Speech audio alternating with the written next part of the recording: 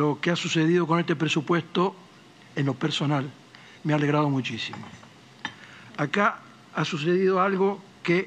no ha sido común en Argentina, yo no me acuerdo, de que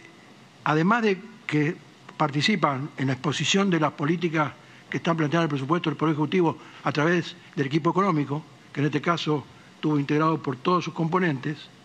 han pasado nueve ministros, el presidente del Banco Central, dos organismos claves en lo que es la Administración Nacional, como es el, ente recaudador y quien administra el 40%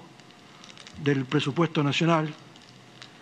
Y por lo tanto creo que esto ha servido para que el presupuesto, que muchas veces se discute en términos exclusivamente financieros, haya, yo he tenido oportunidad de escuchar en mayor parte de los casos, no en la última sesión porque no, no, pude escuchar,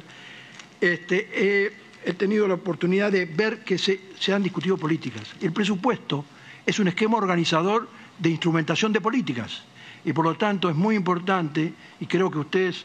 han hecho, me parece a mí, un,